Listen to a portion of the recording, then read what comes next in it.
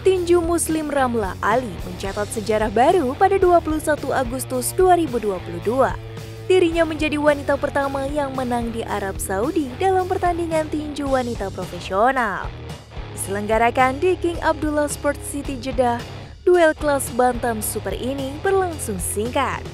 Pasalnya wanita Inggris Somalia sukses membuat KO Crystal Garcia Nova hanya dalam waktu 65 detik.